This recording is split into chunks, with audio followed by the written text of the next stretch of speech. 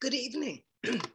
My name is Dr. Rosemary Pena, and I'm adjunct professor of German studies at UBC Vancouver and the president of the Black German Heritage and Research Association.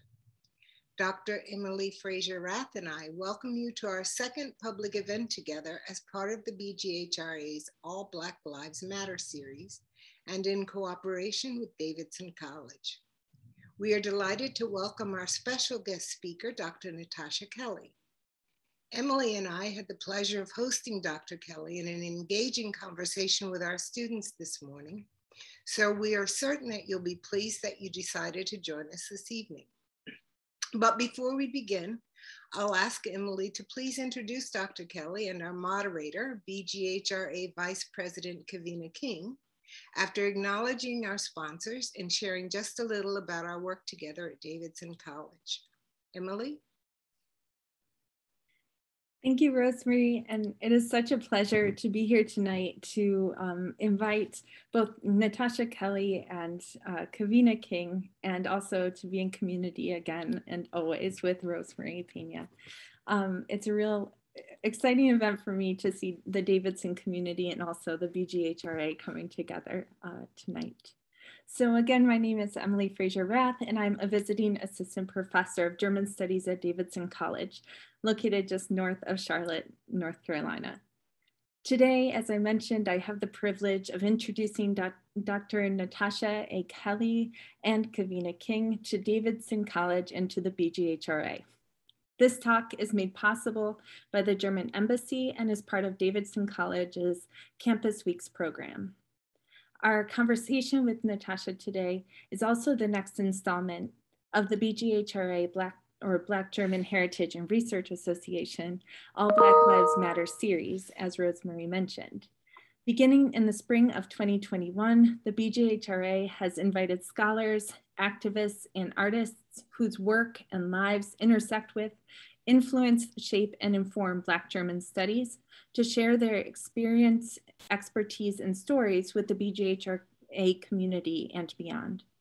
Several of our most recent videos include conversations between our guests and students in Dr. Pena and my co-taught class at Davidson College entitled Black German Art and Resistance. All of the videos in this series, including our class conversation with uh, Natasha from this morning, are available on our YouTube channel entitled Black Germans.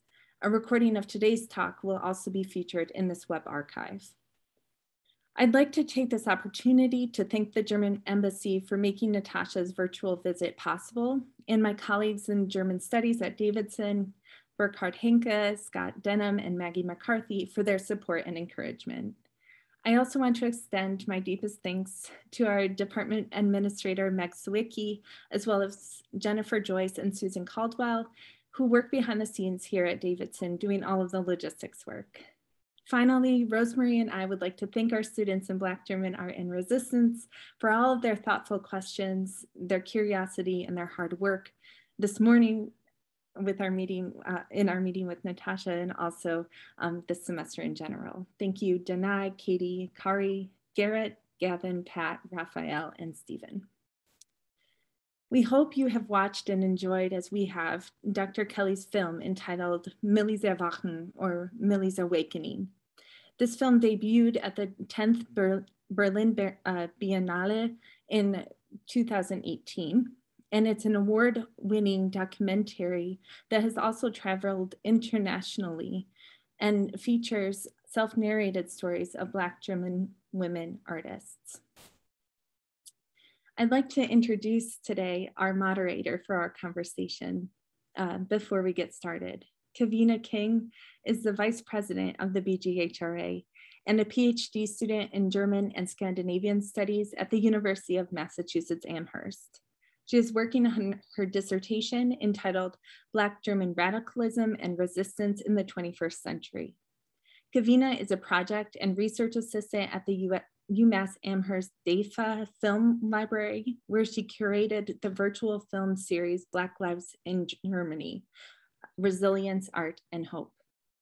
Recently, she joined the Department of World Languages and Culture at Howard University to teach German and Black German studies. Welcome, Kevina.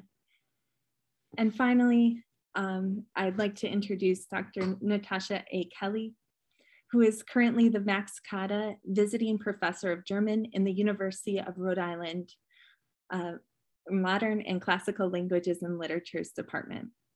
Dr. Kelly's work as an author, curator, and visual artist has been celebrated and exhibited across Germany and the world. Afrokultur, the theatrical adaptation of her dissertation, which was entitled Afrokultur, der Raum zwischen gestern und morgen, or Afroculture, the um, space between yesterday and today, or and tomorrow, sorry, um, debuted in Brazil at the Goethe uh, Theater and last year in the US. Dr. Kelly's edited volumes entitled Sisters and Souls uh, first out in 2015 with the second edition, Sisters and Souls 2, out just this last summer, um, were met with great acclaim and uh, were published this last summer in honor of the 25th anniversary of Afro-German poet May Ayim's death. There are many creative works and publications that precede Natasha, and we will link to all these projects in the chat here tonight and also below the video um, on YouTube without further ado, um, it is my sincere pleasure, as I've said before, to, um, to introduce Dr. Natasha A. Kelly and Kevina King. Thank you. Thank you so much, Emily. Uh, Dr. Kelly, welcome. I am super excited to be in conversation with you today. Um, I admire your work and have been following it for a while, so this is quite a treat. Um, and I'd like to, yeah, express a warm, especially today, a very warm welcome uh, to New England as well, um, where I currently am uh, greeting you all from. Thank you everyone in the audience uh, for being here uh, today as well uh, many exciting things going on out there, and we are happy that you joined us today. Um, in your conversation this morning uh, with the wonderful students at Davidson College, you said that your film wouldn't have been at the 10th um, Berlin Biennale uh, and that you were invited by an all Black uh, curatorial team. Can you talk a little bit more about that moment and what did it mean to you personally uh, to be recognized in that way? Um, well, there, there are different sides to the story. First of all, um, like I mentioned this morning already, I know I wouldn't have been invited if it would have, if if the Biennale would have been curated by the, your classical white male uh, heterosexual curator. Um, it so so this is definitely something that's that changed the structure of this inst institution of the biennale to actually have an, an all curatorial team also of five people which was also very unusual. Usually it's one person or maximum two. I think this was actually the first time in 20 years that they had a team all black people from all different parts of the world afro-german brazilian us american um, african two africans. And it was um, it was a fantastic experience. And to tell you the truth at first i had no idea where i'd landed you know? For me this was just um, working with this team and working having the chance to um, to um, yeah exhibit on an international platform was great, but I never thought about, oh, this is the Biennale until actually a friend of mine said, do you even know what the Biennale is? It's like the Ferrari under the exhibitions. This is like, you can't get bigger than that. And that's what the first time where it actually clicked. And I actually realized um, how huge this potential was. And um, it showed, it, it showed, it proved itself because um, that's the way I got to, to literally travel internationally with my film. And I and still am after two years, three years now. Mm-hmm. Can you tell us a little bit more about your travel? Because you have been this, and the film has been worldwide.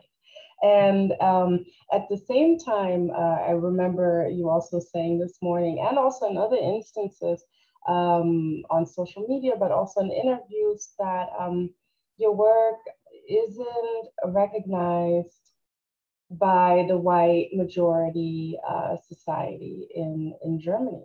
And mm-hmm. here you are worldwide with your film. Can you talk a little bit about how that's even possible and where you've been and which exciting places and projects you've uh, been a part of? Well, Millie's Awakening really literally took me once around the world from Germany, from Berlin to the USA. I did a tour throughout the USA in 2019. I was in Australia, it was screened in India, I was in Brazil, um, the only continent that I haven't screened on is the African continent, and I'm still waiting for the African premiere, which would be uh, would be amazing. Um, definitely not undifficult with um, with some of the topics in the film, but um, still something that that is definitely top of my bucket list. And I think the amazing thing for me, not only being allowed to travel once around the world, but also um, was the different perceptions people had of the film. Um, it was amazing to see um, that there were certain certain elements in the film where um, everybody reacted around the world in the same way. But there were other elements where in the USA, somebody wouldn't react at all, but in Australia, it would be a huge thing. No? So, and this was for me um, my learning process was through the perception of the film, no? through how these different audiences really, um, really perceived it, and and even the differences in in countries individually. Um, in the in the USA here, I've screened at universities, I've screened in education context. I was also um, at cultural centers. I was at Sankofa in, in, um, in DC next to Howard University, had a screening there. That was also a very emotional screening for me, I would say, because the audience, it was um, a lot of the old Panthers were there. And um, it was interesting to see that um, Black US Americans only know our history up to the Second World War but not beyond that. No, and um, I think that is really fatal for us as Black Germans to, um, to have people start telling our story with the Second World War. Because as May Ayim already um, proved in, in her book, and Katharina Oguntoye, Farbe bekennen, or showing our colors in German, Afro-German history goes way back, way past the 17th, 18th century, which actually you can see in art, yeah, um, where you always have one or two black models pop up somewhere and you ask yourself how did they actually enter these pictures? And that was the question i was actually asking or i'm asking now. That's why i named my film millie's awakening and it has become a project with with where with so much follow-up projects that have come out of this film and i'm actually researching looking for where millie is who she was and how she actually came into the painting of ernst ludwig kirchner which was um, painted in 1911 in dresden in east germany. So she must have been there. And the question is how did she get there? And i'm actually doing um, an exhibition at the kunsthalle in bremen showing my interim research next year. So, yeah. So that means you probably can't tell us too much about what you found so far about Millie. Is that right? No, not really. Not not yet. not yet. Okay. Not yet. Not yet. But um, but you can keep um keep your eyes open and and watching and waiting for it because um, I will show it visually, but also uh, in writing a lot is coming. It's on, on its way, in the making. Mm-hmm.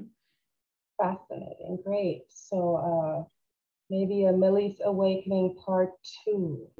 Um, do, do you, um, Millie's Awakening was your first documentary, uh, but you've had other projects that uh, are available uh, uh, and, and, and visual communication is something that is really and seems really important to you. Um, can you talk a little bit more about the importance of that for you personally and how you came into, yeah, communication and looking at Black Germany under that lens. Well, communication studies is something that I always wanted to do. I, it, um, it used to be called publishing in Germany, but then it switched to communication studies because of the new media, internet, social media, etc. So I always wanted to be a journalist. In my teenage years, I was writing for the school paper and you know worked at different newspapers in Germany and thought I would do a have a classical journalistic career but um, that came out completely differently. I, I, if you would ask me if I would ever go into, if I would even ever do a doctor title, that was not on my list, or to teach, um, to, to do research or to become a professor, that was far from, it was unthinkable at the time. And visual communication, I started out with linguistics because um, I'm fluent in, in English, as you can hear, very British but um, more comfortable in German. And so I, I, I, started with these two languages and French, actually, but I dropped French uh, a few decades ago.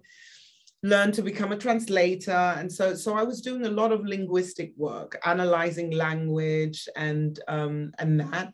And um, through my interest to Black German studies, which, which started in, in my youth practically, it's like the story of my life. Um, I combined them both, and it was a, only a matter of time until I started researching or picked up on May Ayim's research actually of um, racism and language and went deeper into that. And then feminism was only a step away practically. Um, and then that became a big thing. And then it, it, the intersection in intersectionality, and it just, the whole thing just exploded. But um, teaching back then at the Humboldt University in Berlin, I realized that it's also really difficult to teach topics like racism and um, sexism, feminism, or structural issues generally um, through language, through text. And that's when I um, um started using art to actually communicate um, these topics much better, much easier, um, not to say that there's no no racism in the artist world. That's definitely, but um, really using visual communication to to communicate these untouchable phenomena. Yeah, and you seem um, you seem to have that in common with the artists in uh, Millis Erwachen and uh, Awakening as well. Did um, how did how did you how did you meet these fascinating artists? Um, um, yeah, I'm interested. Well, some of them I've known for fairly for a fairly long time. Our our kids grew up together practically in community wise. And um, the first, um, the first, my first interview partner who I met was was Nadu. She's a mask ma- maker, the one you saw last. And she came to one of my theater performances. Um, we were standing on stage after the theater performance, and um, well, I told this story this morning. That's why it's funny to tell it again, but I'll tell it again anyway. And um, we were in the newspaper. There was an interview. Um, I was interviewed as the theater director by a Black journalist, a Black woman. And I was obviously talking about May Ayim because the theater performance is dedicated to May Ayim. And we had a full spread that day. And she came to us after this, the show and she said, Yeah, she's like 60 odd and said, This is the first time in my life that I've experienced that three Black women are on a false newspaper spread um, at once. Um, and, and she was like, and that's what made her come to the show.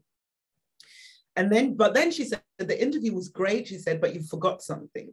You forgot about us, the 60s and 70s, um, the generation before May Ayim, where there were all also women's organization, women's organizing. The medium of the time was radio. So obviously it wasn't so widespread like the internet or social media, but it was the thing at the time, right? And um, she they were on radio they were to, um, communicating their issues they were um, calling for other black women to join them um, they were political they wanted to write a book So she started to tell this story. We were on the stage, like 15 people, and none of us had ever heard anything about it. And at first, I wanted to, to do my film about these two decades, the 60s and the 70s, where we have fairly nothing, no information on the Black German community that is documented. You know? And we have a lot about the um, post-war generation. We have a lot from the 80s onwards, but the 60s and 70s is really a gap, it's a space. And so I started researching, found a lot of women who were active in that time, but they didn't want to go on camera. And I was at a, a poetry slam where I met the youngest, who was um, performing this piece about Black women, which she, do, she does in the museum in front of Millie. And um, so I had the oldest and I had the youngest, and there were 40 years difference between these two. So um, I started looking for people that would fit in between, for women nicks that would fit in between, and um, that's how it came came to be. Mm-hmm. Thank you. Uh, let's get to uh, an audience question here and comment. Let me see. A little bit long, so bear with me. Uh, thank you, Elizabeth, uh, for sharing your question. Um, Elizabeth asked a number of artists featured in the film, and you, as the filmmaker and an artist yourself, offered critiques of art, or maybe art, capital A, is better, that art education is still very Eurocentric, that museums still privilege the white audience, that white male artists are assumed to be neutral while women and BIPOC artists are seen as political. I'm wondering to what extent you think that art created for spaces outside of the museum, films, web series, graphic design, signs, murals, etc., offer spaces for artists often excluded from museums, but also have the potential to undermine, destabilize, and maybe democratize art? Question mark. Um, for me, there is no real difference if I do art in a museum or outside a museum. I've done art outside a museum. It's the same message as inside a museum. And in the end, it somehow lands inside the museum because white people have to go outside the museum to understand the message to then invite me to come into the museum.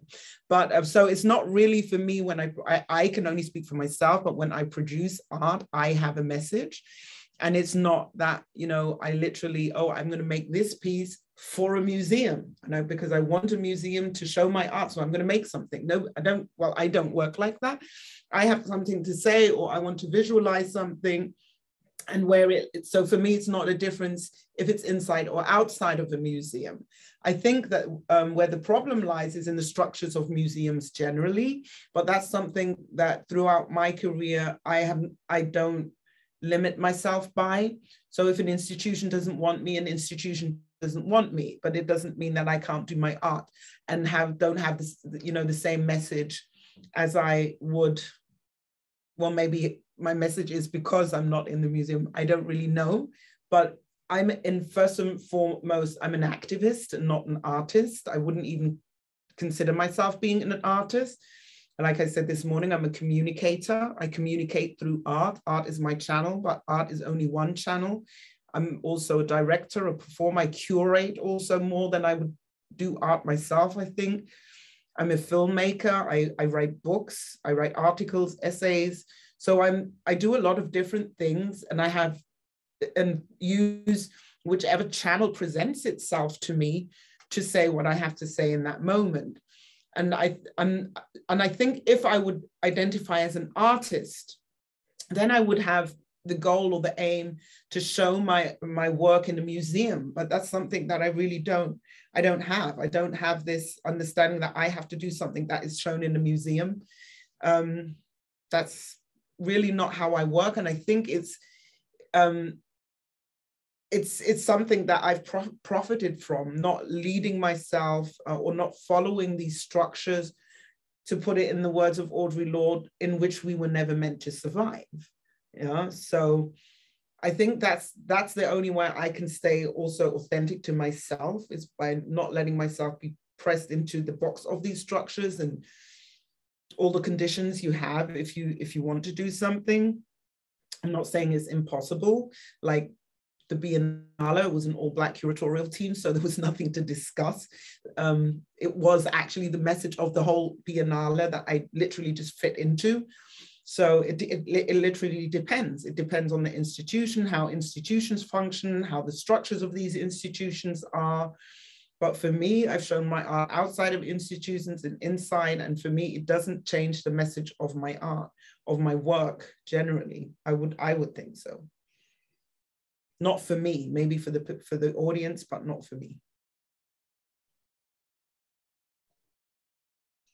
Thank you. I let's follow that up with one more question from the audience from Eileen. Uh, could you speak to how the film was received at the Berlinale, especially by the white audience, and how did that differ from perceptions elsewhere? Um, interested to to piggyback on that, white receptions in other countries as well. Mm. The film was perceived um, at the Biennale, I would say, by the Biennale audience um, better than I had ever expected.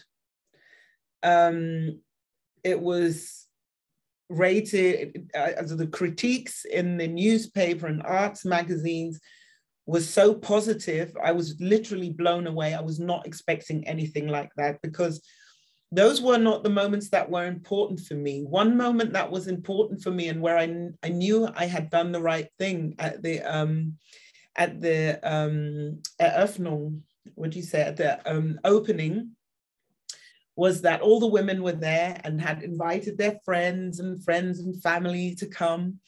And there were a lot of women, friends of Nadu in the age of Nadu, 60 plus and they went up to watch the film, and I was thought, oh my God, what are they going to say? Oh, my elders, you know? And then um, they came back and they sat down, and, and I think it was these three women. And first of all, they said nothing. And I thought, uh oh, what's, you know, how are they going to react? These are reactions that for me that are really, that really count, you know? And then they said, um, after a long time, really a long moment of silence, um, one of them said to me, Natasha, thank you. Thank you so much for including us. This is such a beautiful commemoration to the, the Black women of the 70s, the 60s and 70s, many of them who didn't survive because they were on drugs, they were on alcohol. This was a time where there were a lot of um, a lot of um, suicides through heroin, and especially in Berlin at that time. And um, she said, up to this date, the, the community has forgotten us, had forgotten us. And you, this is such a beautiful commemoration to them. And that for me was a perception that counted, that really touched my heart where I knew I'd done the right thing. That's what I did it for. No? And that counted for me more than all the other beautiful positive press. I'm not going to say I'm, I'm grateful for that too, but those were the reactions that really counted. Can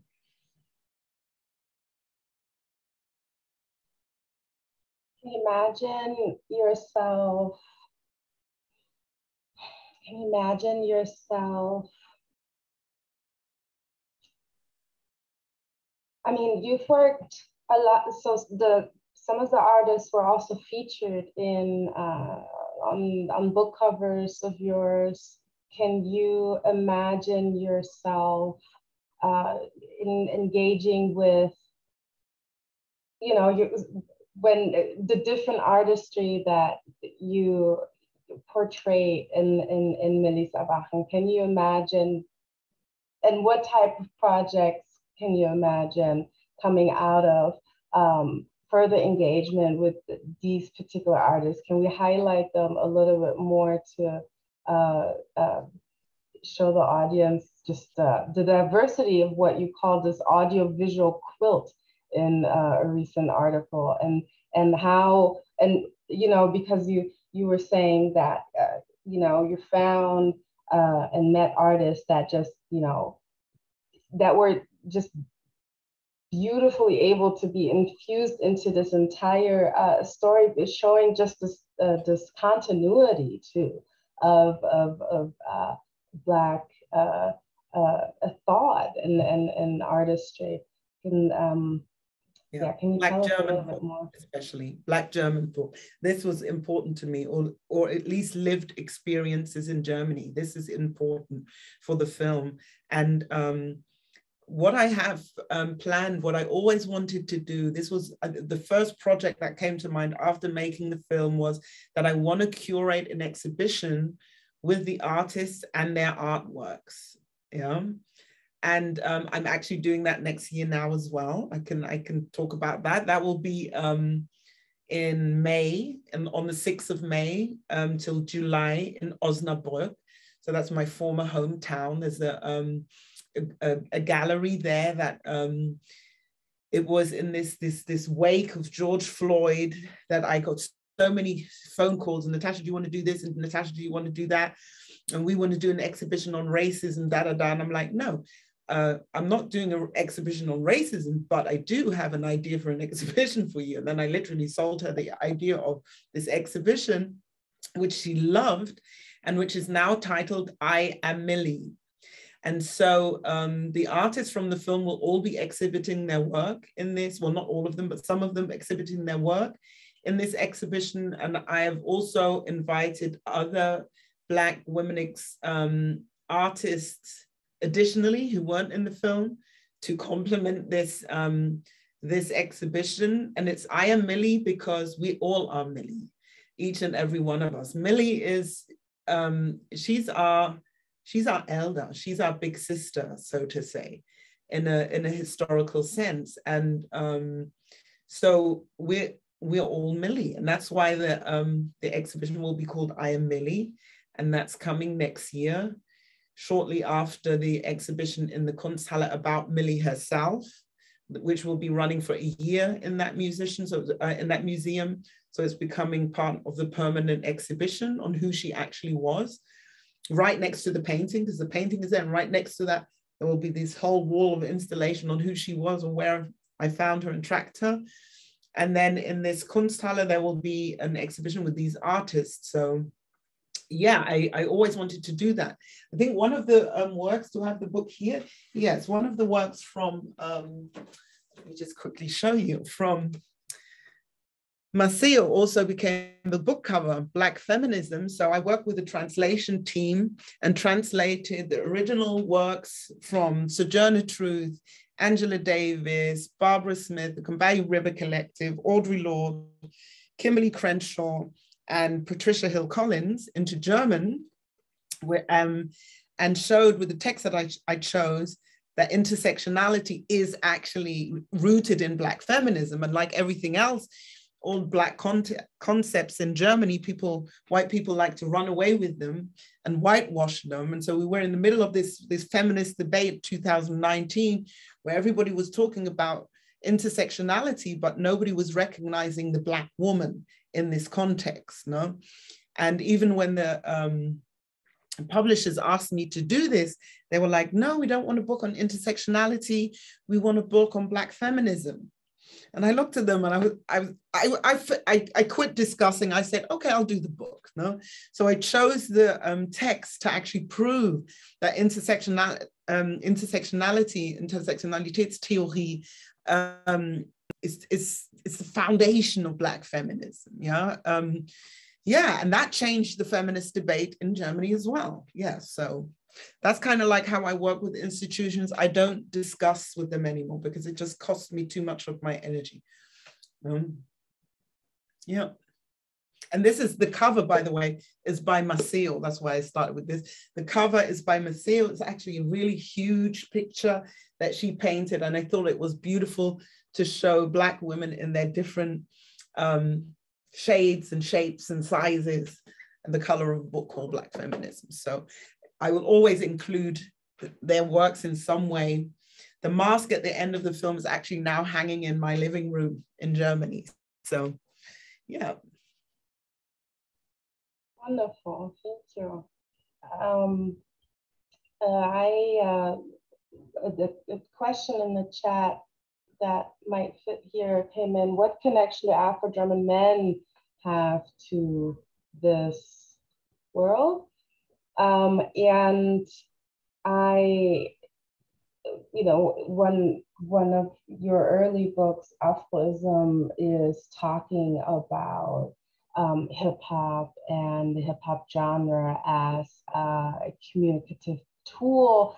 Um, and up until, and, and there you discuss Brothers Keepers um, and the impact of Brothers Keepers. Um, and up until recently, you were also a politician in uh, a German hip hop party. Um, where thinking about intersection, thinking about hip hop, thinking about politics in Germany and party systems, where do the men uh, fit into this world?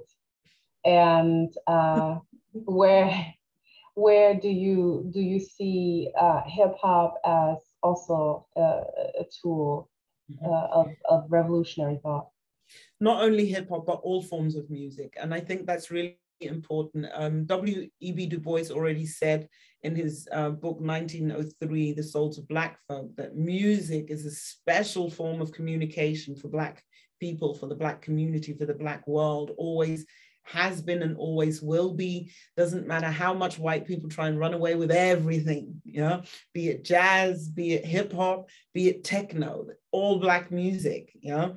And I think in, in this sense, it's not only about lust and leisure and oh, let me relax and listen to music. Music was always a form of power. It was always a form of resistance in the black communities. It doesn't matter to which age, be it spirituals, be it gospel, be it blues, right up to techno, which in Germany, hardly anybody really knows that techno is black music anymore, that it started in Detroit, underground resistance.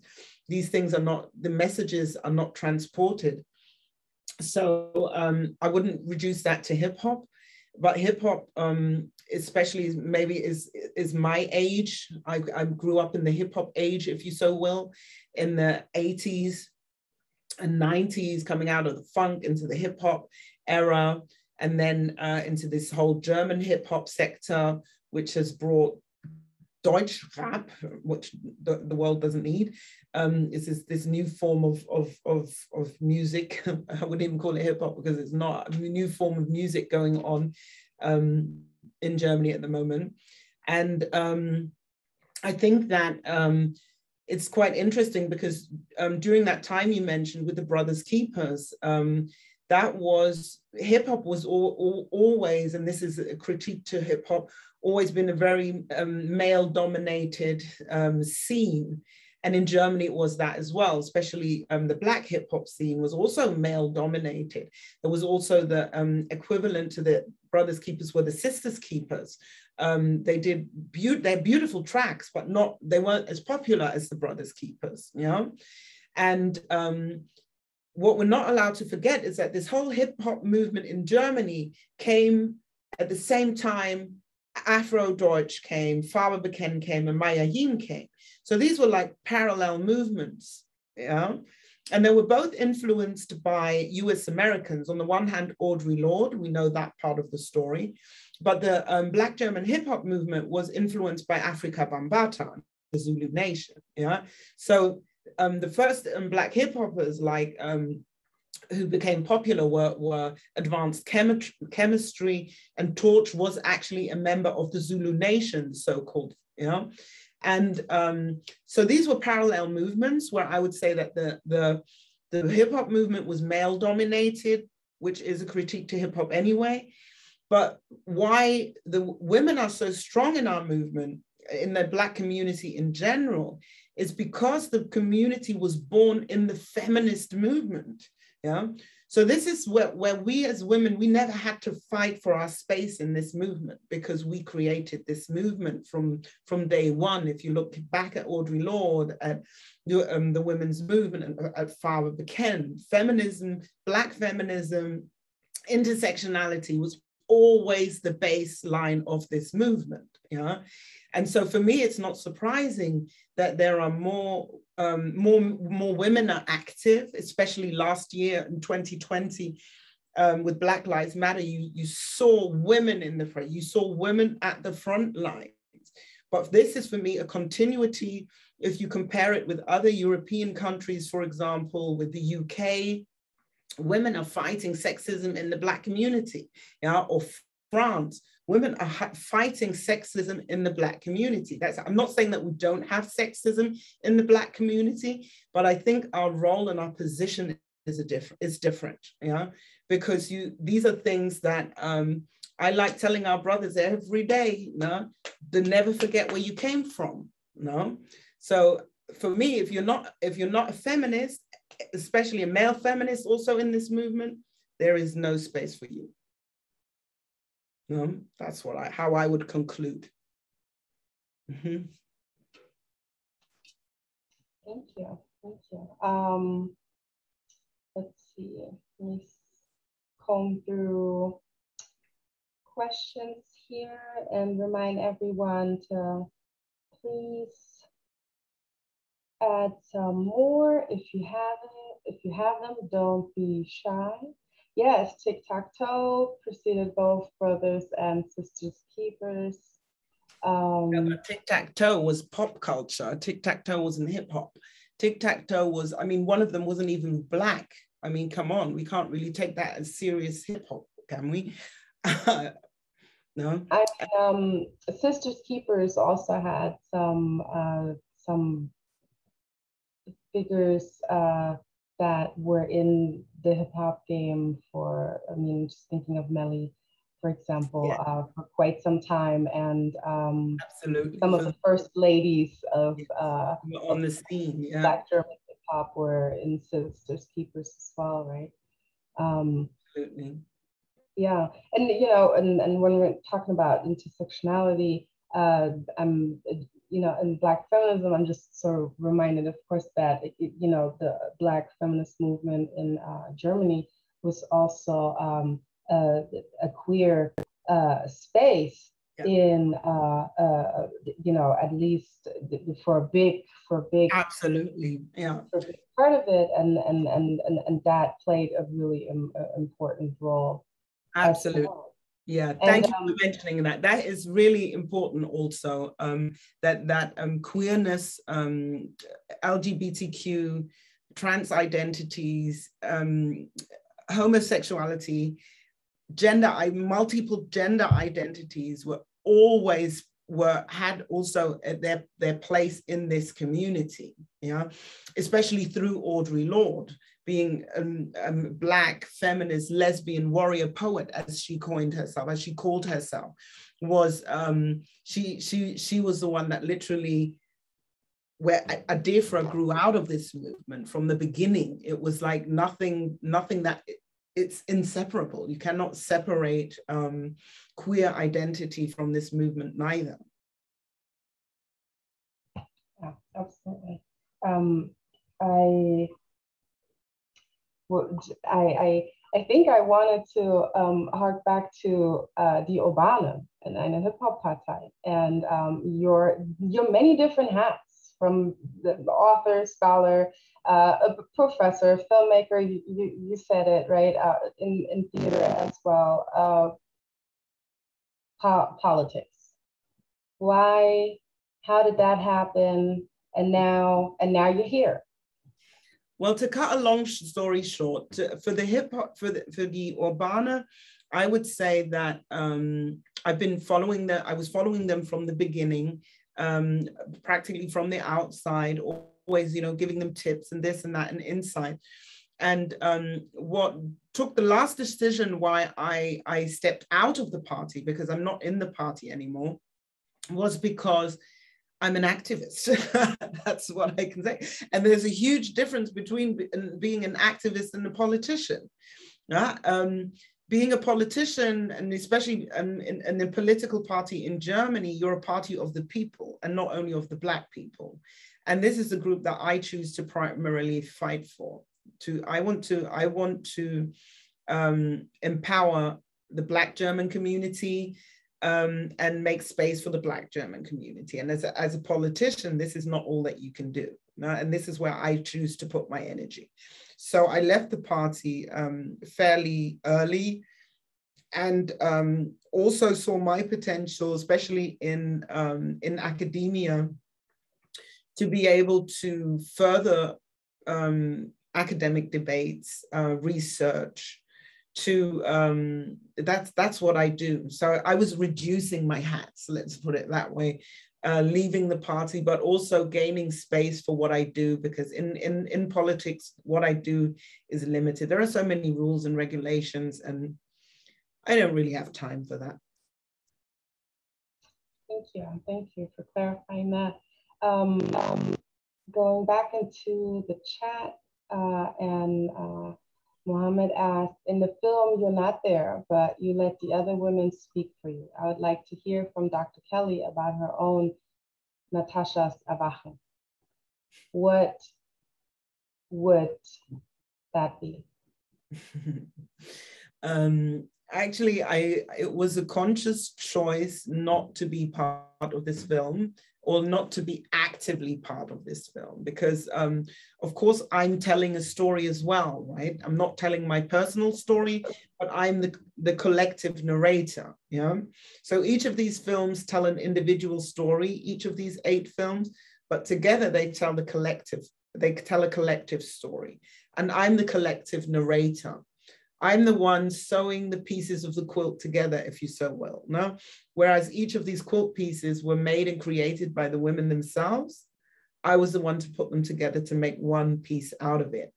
And so in a sense, I am there. You can also, if you hear, you can you can hear me in the background sometimes because I could just couldn't stop laughing at some points where we had to do these sequences again and again and again. And every time we did it, I just had to laugh harder that was especially when Marcia was in this garden saying, um, looking through, I don't even know what it was, um, this, this, this statue.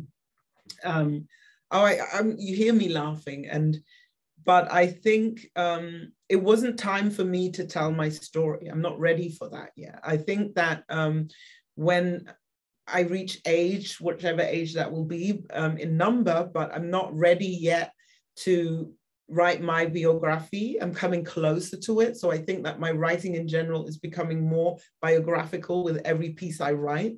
But I wasn't in the in the in the place to do a film about me for the Biennale, and especially not for the Biennale. This for me was I see myself more curating this film than actually producing it as a classical filmmaker because it was made in an art context and not for the film Biennale, know?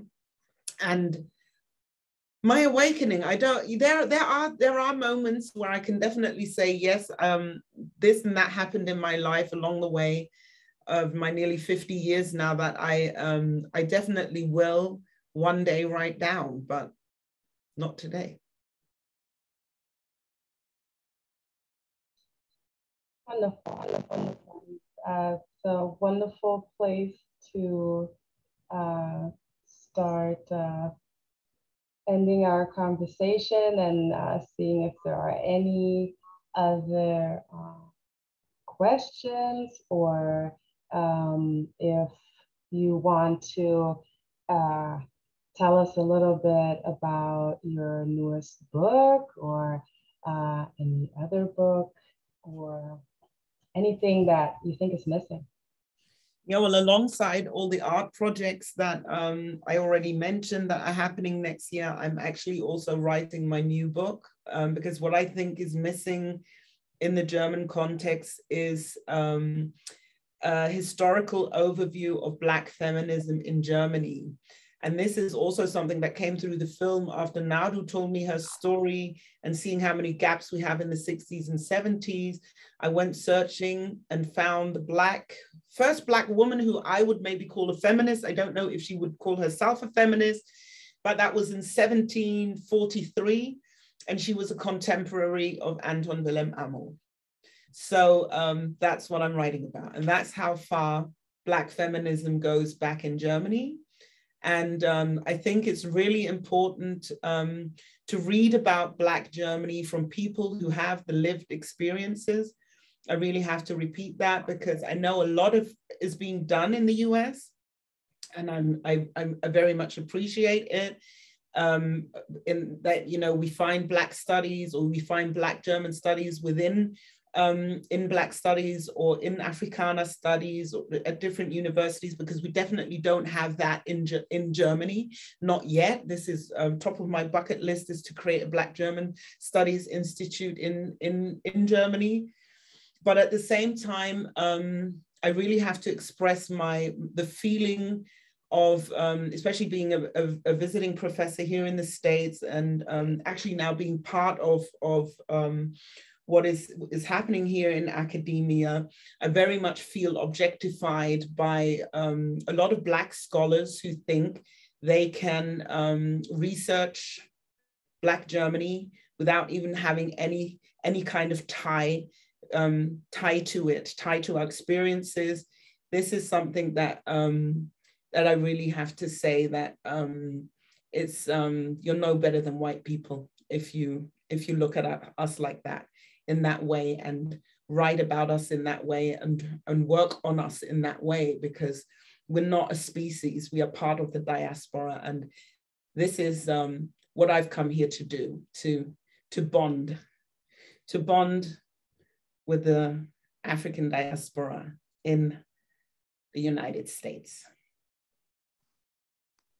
Wonderful, thank you. So on that note, as we draw to a close, Many thanks once again to our sponsors for allowing this event to take place and Dr. Kelly for sharing her film and time with us. Please visit our website on bghra.org and follow us on Eventbrite, Facebook, Instagram, and Twitter to learn about future events in our All Black Lives Matter series. November 17th, we invite you to join us for the screening of another documentary film, Becoming Black, and a conversation with the film's director, Ines Johnson Spain. Our YouTube channel hosts the recording from Dr. Kelly's classroom visit this morning, along with all of the earlier conversations in this series, and from our four international conferences. Mark your calendars for February 17th to the 20th, 2022, when we will host our fifth BGHRA conference virtually in partnership with Africana Studies at Rutgers University, Camden. Remember that you have until tomorrow evening at 8 p.m. Eastern to watch or rewatch Millis Erwachen. And don't forget the dual language text is available for purchase by emailing Dr. Kelly at info at natashakelly.com. Thank you again for your time and attention. And until next time, have a wonderful rest of your evening. Thank you. And thank you for the invitation, Rosemary, Emily, Kevina. Thank you. Thank you. Thank you so much. And thank, thank you everyone for joining us this evening. Good night.